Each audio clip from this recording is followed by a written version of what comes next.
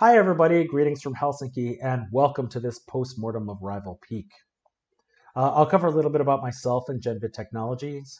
I'll talk about massive interactive live events, or MILES, and then I'll jump into Rival Peak, a multi-million dollar collaboration we had with Facebook, Pipework Studios, and DJ2 Entertainment. Now, what we're doing is new and is often confused with other trends, so I want to start by saying what Genvid is not, and that is we are not a streamer tool. Rather, we work with developers to create viewer centric and viewer interactive experiences. We are not cloud computing, we are native cloud streaming, uh, and we scale more cheaply than multiplayer servers. And we are not a platform, we are not competing with Twitch. We, um, we're a preferred Twitch partner. Um, but we're platform agnostic. We have games on Twitch, YouTube, and Facebook. And all these platforms have different audiences, and we feel it's important for developers to choose the platform that best fits their game.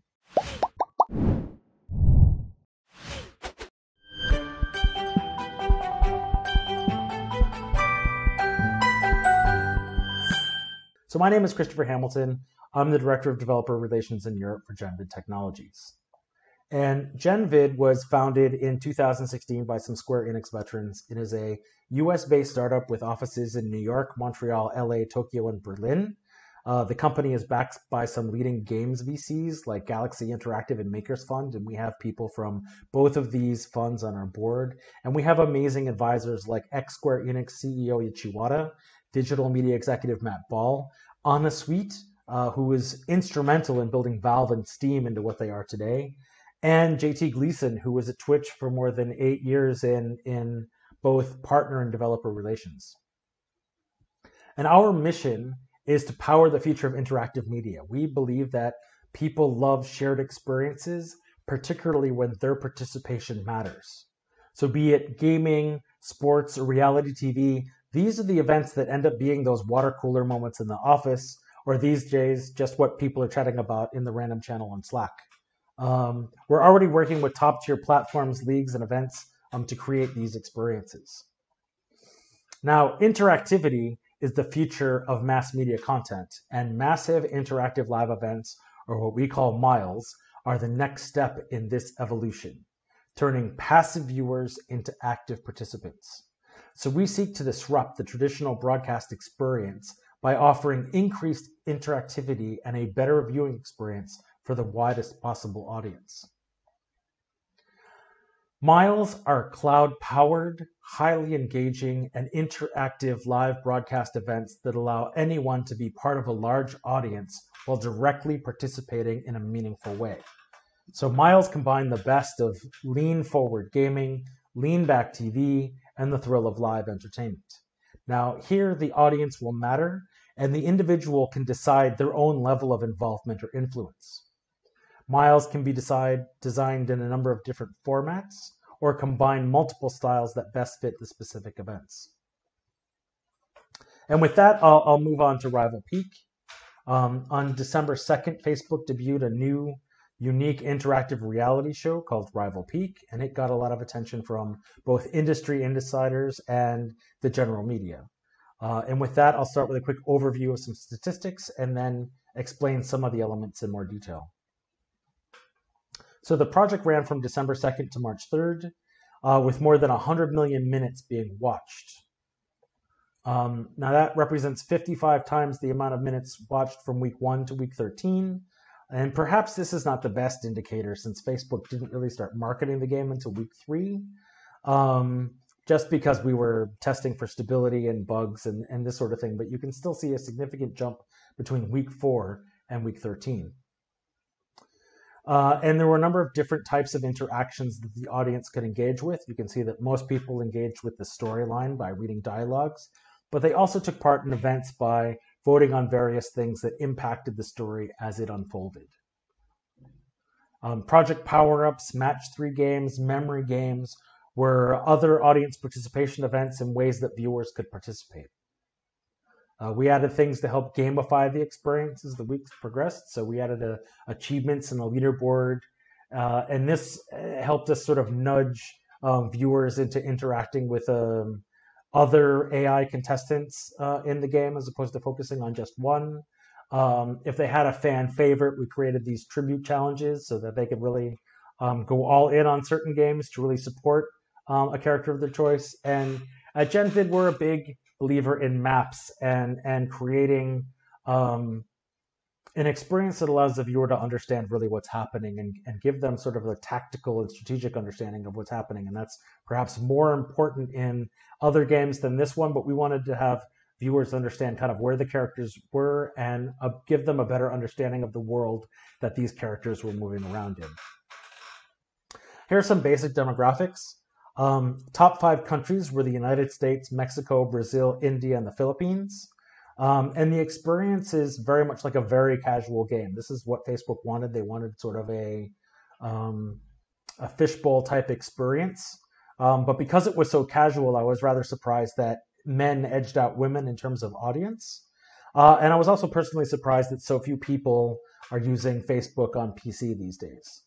Um, with that, I'll I'll jump in and explain a little more, a little bit about more Rival, a little bit about more about Rival Peak itself. Um, Rival Peak is powered by Genvid Technologies with design and creative support by Pipeworks Studios and G- DJ2 Entertainment. And while Rival Peak looks like a game, it is a culmination of a decade's uh, effort to create the world's first native cloud streaming experience. Rival Peak isn't a game, rather, it is a massive interactive live event or mile. Um, Rival Peak is built on the idea that interactive stories should be based around the entire audience and not just a single viewer. That your, decision, your decisions should have consequences to you and to the entire audience. Um, that there are no do overs, there's no pausing, there's no way of understanding who's going to win.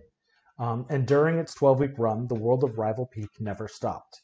Its characters were constantly in motion, and the story unfolded as the audience participated and played along. Now, Facebook lacks an extension program like Twitch, but it does have the world's leading HTML5 platform.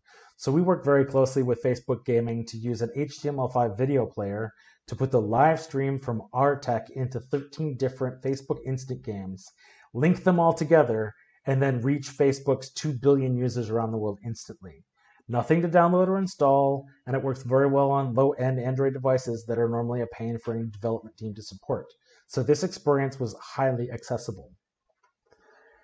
Genvid, we are pioneers in, in miles. Um, we're the leaders in both the technology and services required to run Rival peaks. So we acted as the showrunners for all of the components of this mile, responsible for the design and deliveries. And we had teams running 24 7 to handle QA, marketing pushes, new updates to the Facebook feed, customer support to respond to user issues, and a live operations team ready to push new code when bugs occurred. And as a mile, Rival Peak is made up of three components. Um, the Facebook Instant Game, which is actually 13 instant games all linked together, and that is one for each um, AI character stream and the main home stream. Um, it is a persistent world, and and this part of the the mile is similar to the reality show Big Brother, where the audience can watch and follow what all the contestants are doing 24 7. Um, the contestants are driven by a very sophisticated AI that was developed by Pipeworks Studios, and all the voting takes place through audience participation events or APEs, um, which are various user interactions um, that I'll touch on later in the demo. But um, can, the contestant with the lowest score at the end of the week is eliminated. So the audience votes by engaging with the the instant game or the individual stream of the particular AI character. And the more they engage with those AI characters, the more points they get. So the more people that engage with a specific character, the less likely they are to be eliminated. Um, the second part is Rival Speak, um, and that was a, a Facebook Watch original companion show that was hosted by Wil Wheaton that guides the audience deeper into the world, deeper into its secrets and its characters. And this show was actually much more like Lost, with a very complex storyline filled with conspiracy theories and total craziness dreamed up by the team at DJ2 Entertainment. Uh, the narrative serves as the experience's metagame, um, and it's more than just a weekly wrap up show of what happened. Wil um, interviews the AI contestants to provide more of their background. He sets up the story for the following week. And again, Wil and the producers do not know who is getting eliminated week by week. Um, so it was a truly crazy production schedule that I will also touch on a bit later. And then the third component is Facebook as the social platform itself. Um, with the Rival Peak page and several fan pages um, that provided additional information and ways for the audience to follow what is happening and get more information on the contestants and the world and the storyline. Um, and it used to be that people would live tweet their reactions to premium shows like Game of Thrones, and here it is happening all right on Facebook's platform.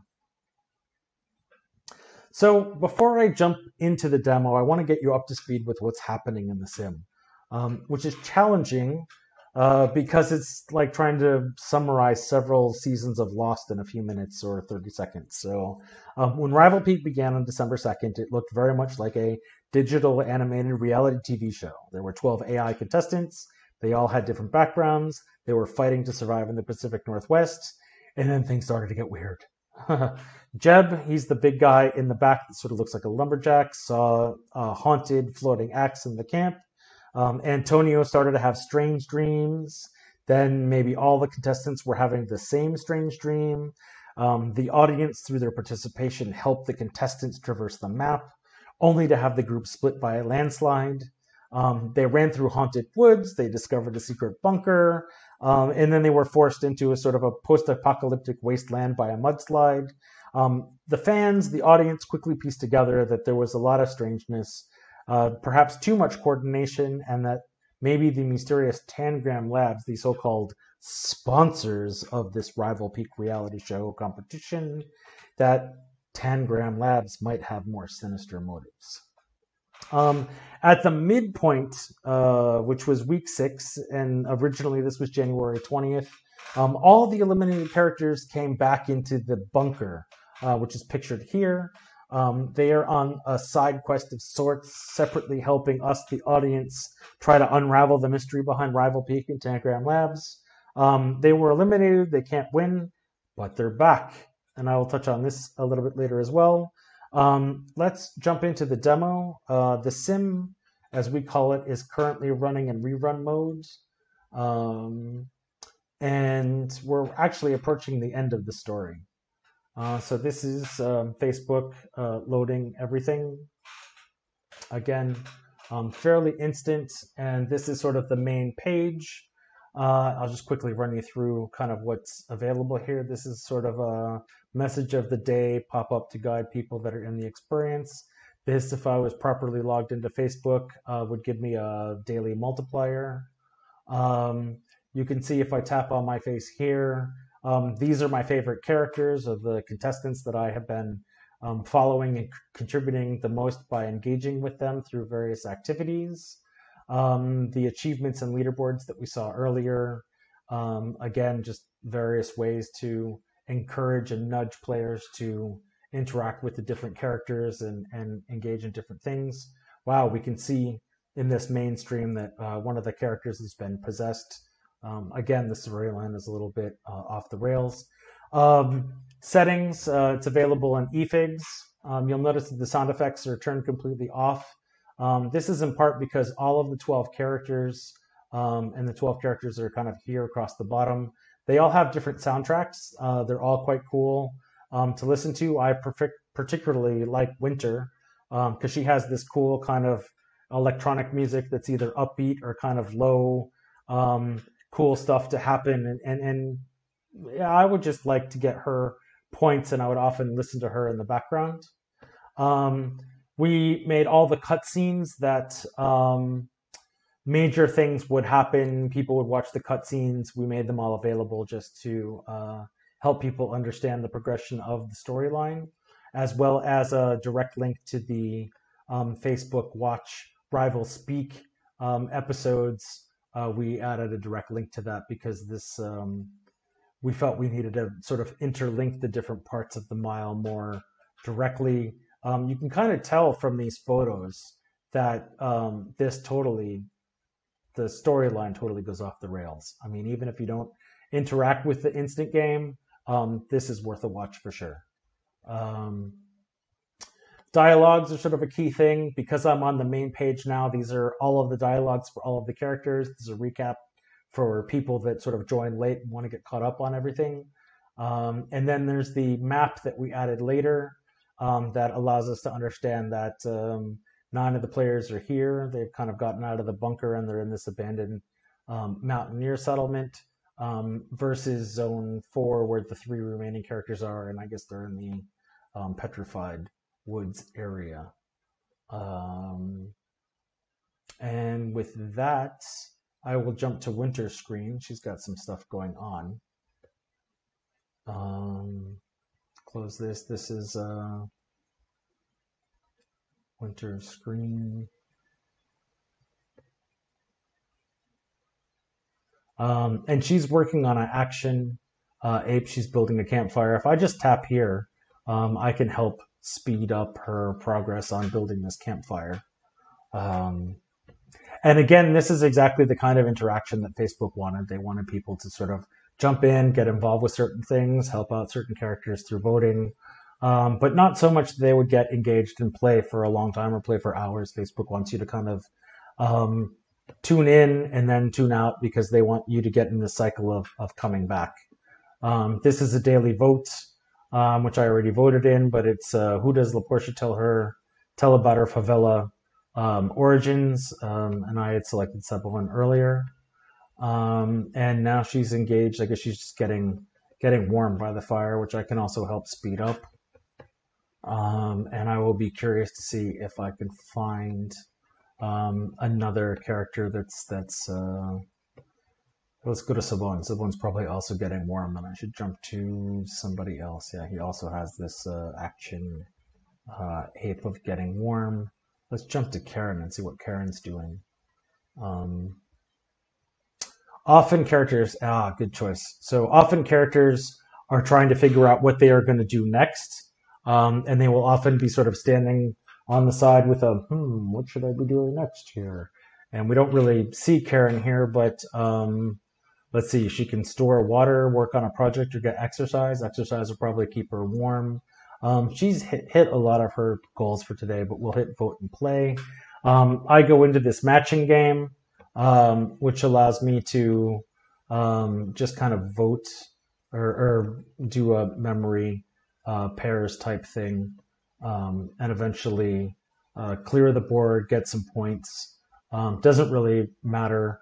Well, it matters in the sense that it, it gets points and it, it has my involvement.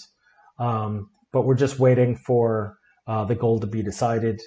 Um, and Karen will kind of go off, and and this is a way for the viewers to vote and impact what the characters are doing, um, how they reach their goals, uh, and and this type of thing. So um, you've got Project Apes, uh, which are actually bigger than this, and and it's usually something like building a raft or maybe building a bridge and that involves all of the different characters getting together and you kind of have to jump from character to character to make sure that they collect all the things they need um, for these particular things. Uh, two seconds to go. Let's see how the voting goes here. Um, another 13 seconds. Uh, we'll see what the choices are